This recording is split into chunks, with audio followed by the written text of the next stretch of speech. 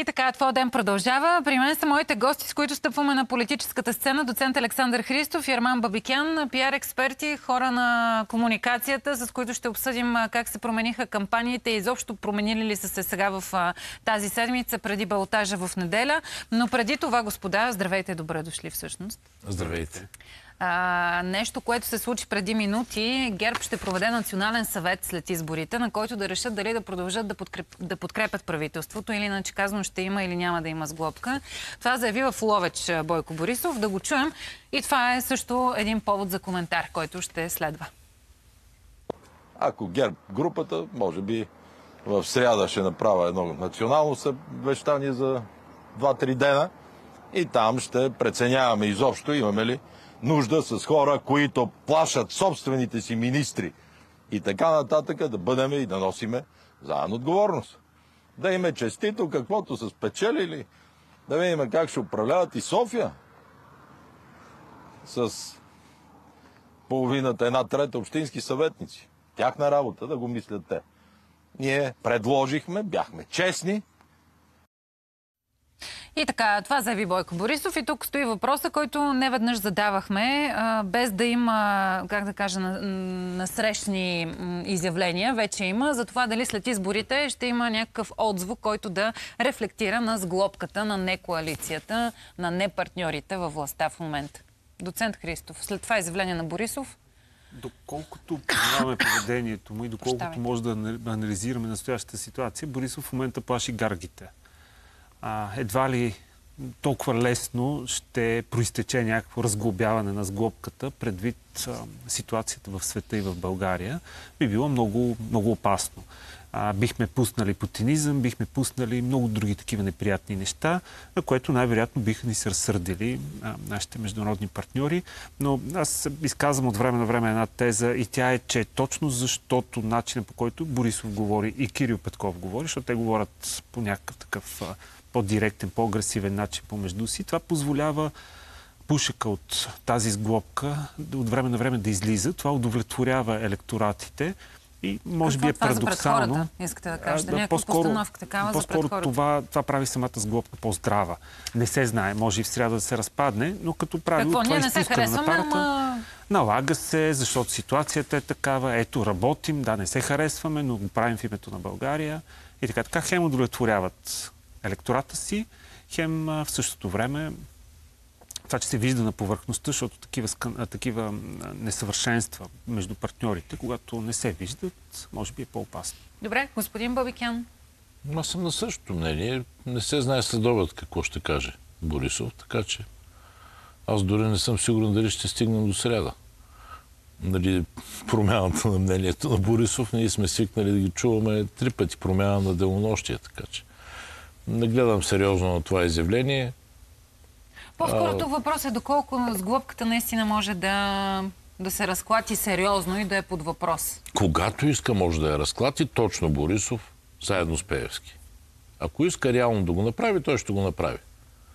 И няма да има нужда от свикване на орган в сряда. Кога пък орган е решавал в ГЕРБ по дяволите? Решава един човек. Го показахте преди малко. Тук стои ли тогава въпроса за реакцията, поведението, политическите ходове и решения на другата страна от сглобката на продължаваме промяната Демократична България? Те също са толкова разпалени от време до време. Може би една идея по-цивилизована. Въпросът е кой, кой държи ключа? Борисов и Пеевски за съществуването на тази сглобка или и другата страна от сглобката продължаваме промяната Демократична България имат ключ, който да, да използват в един или друг момент. Кой е по, по-уязвимия, кой е по-зависимия в случая? Аз според мен това е един много неустойчив баланс, защото и то е свързано с принадлежността на тези две-три политически сили към една по-идеологическа и геополитическа ориентация. Така че и двете страни, или трите, ако включим в сметката и ДПС, са достатъчно неустойчиви и уязвими, ако това нещо се развали. По-уязвими са хората от продължаване промяната и демократична България определено. ще бъде както беше репликата на Борисов, всъщност е неговото разбиране за стабилност. Те са тези, които някога заявяваха промяна, някога заявяваха реформа, борба с корупцията и така нататък. Те са тези с претенциите, че, ще бъде, че сега е едно и ще бъде друго. И тези претенции ще останат нереализирани, когато решат да напуснат с глобката и да обясняват, че... Нали си спомняте какви ги обясняваха, че нали, това било важно, нямало друг избор. Да, да, това, избор, което каза доцент да. Избор имаше, разбира се, но те направиха този избор да бъдат с Бойко Борисов. Когато а, принципите и морала напуснат, остават с глобките и остават провалите. Освен това са по-уязвими, защото множицата расте между ГЕРБ и продължаваме промяната и демократична България. И то не защото ГЕРБ расте. Това е лъжа. ГЕРБ не мърдат. Те падат надолу. Продължат другата страна от сглобката. И всъщност големият риск е точно този, че следващия път ще вземат още по-малко. И те не искат това да се случва. Ако продължим разговора, гледайки вече към резултатите след първия тур и предстоящия балтаж, може ли да се прави равносметка на губещия и печелившия в тази ситуация, пак в контекста на сглобката? Да, ГЕРБ след 18 години е извън дори балтажа за София.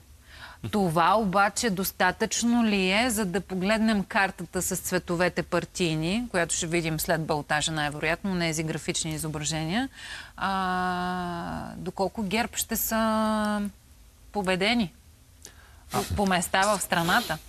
София не, е... София не е България, да. София не е България и Хикимян не е ГЕРБ. Хикимян беше значка на ревера, донесен, от, взет от някъде с а, възможността да прелее част от авторитета си и да се опита да привлече някакви други избиратели извън а, твърдото ядро. А, така че той много трудно беше закачен към а, доколкото има организации и ценности, доколкото има ценности тази партия а, въобще. А, така че, но от гледна точка на кампаниите видяхме някакво успокояване. Може би това е причината за ради, за, защото накрая останаха специално за София двама напълно идеологически различни хора, което аз мятам за най-прекрасното нещо в тези избори, защото върнахме дискусията по отношение на това каква идеология подкрепяме, а не кой хубавец за кой хубавец ще дадем гласа си, защото е по-готин, защото е по-еди какъв си. Тоест, отдалечихме се от личностите, се доближихме към До идеологията. Да. да което смятам за в тази седмица смятам за най-прекрасното нещо в тези избори. По отношение на, на ГЕРБ по места, продължаваме промяната Демократична България като резултати. Безспорно за София това е нещо различно, което се случва от дълги години насам. А доколко обаче това може да се тълкува като началото на някаква политическа промяна? Не. Или... Не го тълкувайте така. Никога по принцип, не просто за София. Никога не трябва да налагаме картата на местните избори върху националните избори. Защо? По, защото това са... А, Избора е различен, повече Избора е различен. А, имат влияние местни економически фактори, които нямат нищо общо с националната турбуленция. Имат влияние по, по, по много малко неща си приличат този вид избори те са смесени пропорционално мажоритарни, до толкова доколкото има кмет и общински съвет. По съвсем друга логика, ако щете в някои населени места, роднинските връзки имат логика. Представете си го в национален мащаб, това няма как да стане. Трябва всички да сме братовчени на Григорова или пък на, на кандидата на Продължаваме промяната. Няма как да се случи, докато има населени места, в които цели родове, тръгват под строй понякога родове от 500 души. А, така че нека да не ги налагаме, просто ще си, получ, ще получим грешен отговор. А иначе аз съм много радостен, че ГЕРБ са извън балотажа в, в София, ако говорим за моите лични предпочитания, но мисля, че те по-слабо интересуват хората. А, сблъсъка освен, че се идеологизира... Това ще да ви попитам дали да. се припознавате в това мнение, че имаме изцяло идеологически избор. Ето, Голямата тук, си част, хайде Тук е детайла, да речем. Нали, да, идеологизира се разговора, но не изцяло. Не изцяло. А, половината кампания ме занимаваха с плочки и с фугите между плочките. Това не е политика, това не е менеджмент на град. А, завряха ми главата в фугите на плочките и в дупките, и в прословутите места в детските градини, които ги търсят от 20 години тези места. А това не е ли пак стратегия комуникационна, за да, за да не се говори за другото? Най-вероятно. Или е неможене, или е стратегия, но очаквах тези хора да вдигнат глава, а не да ни карат да ходим с наведени глави. Ние тези дупки и фуги ги виждаме и без да има избори. Никаква новина няма. Тези хора трябваше да ни говорят за представата си, за концепцията си, за това как ще изглежда града по време на тяхното 4 годишно управление и каква дългосрочна политика ще оставят за след себе си. Ако всички те се възприемат като вечната власт на ГЕРБ 17 години тук, опазил ни Бог. И освен това не съм толкова голям оптимист, колкото слушам, че върват тълкованията, че е предрешено кой ще е победителя от тази битка. Има ли такива тълкования? Защото аз пък в ефир питам ами, и голямата разлика, и ваши колеги, носела, пиари, не знам какво си и така нататък. Експерти по комуникации, политолози, всички казват, че този балтаж е доста непредвидим, понеже не е ясно... Изключително. Изключително непредвидим. Доцент Христов, политическата подкрепа тук, понеже слушах Ивана Григорова сутринта при, при Виктор Николаев и Мира Иванова, тя каза категорично, че лично тя няма да води разговори с политически формации. Това обаче прави а, госпожа Корнелия Нинова, лидера на БСП по отношение на има такъв народ, които казаха, че ще подкрепят Григорова. Герб и Борисов, а, с начина по който Борисов а, се изказа първоначално за Ваня Григорова, сякаш беше по-голяма зелената светлина за Ваня Григорова. След, след това обаче дръпна назад. Там остава изключително неясна а, ситуацията. Доколко този балтаж а, е по-скоро очакване за партийната подкрепа или изобщо а, този критерий липсва в тези местни избори? Аз винаги съм смятал, че декорираната партийна подкрепа за един или друг кандидат от загубилия на, на, на първи тур а, се смята за преклено оптимистична. Някак си в някакъв момент предположихме, че ако Бойко Борисов излезе и каже нещо, то някаква част от а, хората ще го последват. Не знаем и не можем да открием причинно-следствена връзка между едното и другото. Никога не сме Дали е откривали. Така, или не? Никога не. Хората са разумни. В повечето случаи те имат мнение. Ние имаме напълно идеологически сблъсък в, в, в София в момента, в неделя. Така че божа работа. Доколко тези думи на Борисов или на който е било друг, а, ще повлияе. Това не въжи за такива ам, не знам как да нарека, хомогенни маси от последователи, като например те са на Възраждане. Там някой казва така и те тръгват. Но това са по-скоро изключения, отколкото точно така. Борис правило. продава електорат, който не може да контролира. А кампанията да. ще се промени ли на самите м- опоненти, за да привлекат и партийни привърженици? Независимо от коя формация. Дали е ГЕРБ, дали е Възраждане, от тях зависи. дали е ДПС? От тях зависи. Някои от тях са повече от 4 месеца на терен, както обичат напоследък да казват. Да. Явно са научили нови думички. А, такива от изборните технологии или от социологическите изследвания. Но вижте, София е града на протеста. Аз не чух кандидата на част от политическите сили, за които имат претенцията, че са участвали поне. Поне да, каза две, да каже две думи за това, кой точи София толкова години. Кой? Ние чухме какви прекрасни идеи имат за транспортната схема на града. Адмирирам това. Чудесно. Една дума не казаха за, за корупцията, за битката с тази корупция. За щупването на гръбнака и тук е основният трамплин, от който се изстреля диктатурата на Бойко Борисов. Кой краде в София? Няма дори риторичен въпрос зададен в тази кампания. Ние знаем отговорите. Дори преди 4 години се говореше за орлетата на София, за котараците на София, и така нататък. Нещо да чувате. Тишина. Едните се занимават с социални грижи, другите с модерна транспортна схема. Трябва да кажем, че може би две-три стъпки назад как протекоха кампаниите. Да, детски градини, да, жълти павета, поради две причини. Първо, защото това са лесни разговори. Другите разговори са доста по-трудни. И второ, защото... А има ли заблудата от политическите лица? Защото те не знам дали можем да ги определим като политически лица, но хайде представителите на политическите формации като кандидати да имат заблудата, че хората точно това ги вълнува и искат да чуят. Истината е, че ги вълнува хората. Въпросът е, че въпреки, че ги вълнува привидно, те не са толкова важни. Хора, нека си сложим ръка на сърцето и кажем, толкова ли са важни подяволите жълтите павета? В прагматичен смисъл. Отговорът е не те са важни, ние им придаваме важност, защото носят символ на стоеност, защото са е тук в сърцето ни.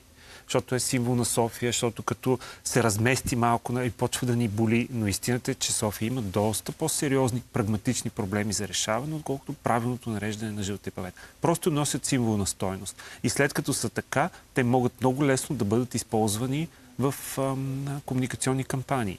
Защото там отговорността за несправенето е ясна и съответно... А от комуникационна гледна точка това ли е по-лесно? Да, да, да се плъзнеш по прагматичните проблеми на София, отколкото да влезеш в дълбочина? Категорично. По-лесно се обясняват, по-лесно се води разговор. А, има многопластови теми, свързани с, не знам, с строителство, с а, презастрояване. Те са многопластови, с много интереси. Жълтите павети са прости за разбиране. Криво ли е? Криво е. Точка по въпроса. Господин Бабикен, отказват а, от продължаваме промяната Демократична България. Кандидатът Терзиев отказа дебат сега на финалната седмица на Ваня Григорова. Това има ли някакво значение? А, доколко може да се отрази на някакъв резултат? Ако върнем назад историята на политическите дебати, имаме такъв случай с неявяване на дебат и обрат в резултатите. Изобщо има ли място за аналогия и някакъв такъв анализ? Само, че бяха трима. Така е. На онзи дебат. Да, на онзи дебат, да. А тук не. И има огромна разлика. Защото третият в този дебат беше човек, който се смяташе за идеологически близък до първия кандидат. И всъщност се превърна в битка между неравнопоставени фактори. Единият беше ето толкова нисък, другият ето толкова висок. Но бяха в един идеологически сектор и те се сбиха. Печелившият беше отсъстващият. Тук случай не е такъв. Бягството от дебат разбира се, че ще бъде използвано защото да избягаш от дебат с една жена, на мачовска България няма да й хареса. Съжалявам. Все още сме на това ниво в страната. Не го казвам с радост. От друга страна, някой мъдро е казал, бе ти с дебат с тази жена няма да спечелиш. По-добре не влиза и в студиото. Трети мъдрец е казал, ти водиш толкова много, можеш само да загубиш за какво ти е да Това така ли е от пак комуникационна гледна точка? Тоест, ако водиш толкова, имаш такава преднина, а, възможно ли е наистина само да загубиш, не да натрупаш повече? Абсолютно възможно е. Но всички тези неща означават само едно. Не си добре подготвен. Доцент Христов, а, вашия прочит. Да, колкото, по, колкото по-напред е един кандидат, колкото по-голяма е разликата с следващия. 10% не се знае какво ще стане, но трудно се обръщат. Но колкото по-голяма е, толкова по-голяма е склонността те да играят на сигурно. Само заради това да не се случи нещо, че да... Помним и президентски избори. Много често ги давам за пример Цецка Цачева, като беше кандидат за президент. Ей, Богу, как го направи тази жена. Всеки следващ ден, каквото и да правеше, подкрепата за нея спадаше. Тя имаше, е, не помня цифрите, но едни от най-високите И аз не ги помня. 2016 бяха изборите. На, да. на, на кампанията. И в този смисъл те просто играят на сигурно. Това отново е прагматизъм. Много по-голям е шанса във Варна да има обръщане. Много по-голям е шанса това да се случи там. Въпреки, че всички отписваха Варна в началото, в момента само от активността на хората там, от никакви други фактори, зависи дали ще се обърне. Благодаря ви, господа. Ще ви поканим и след балотаж, за да направим вече равносметката на финалните резултати. След балотажите по места, да има и големи градове, не само София, това искам да кажа. Така че ще бъде любопитно и да видим тази карта, която постоянно и аз споменавам, с а, разпределението на силите по чисто партийните цветове, как ще изглежда България. Благодаря ви още веднъж за този анализ. Уважаеми зрители, реклама и продължаваме с останалите теми. Очаквам бившият министр на труда и социалната политика Христина Христова. С нея пък ще си говорим за числа. Линията на бедност нараства, нараства с 4,4 на 100.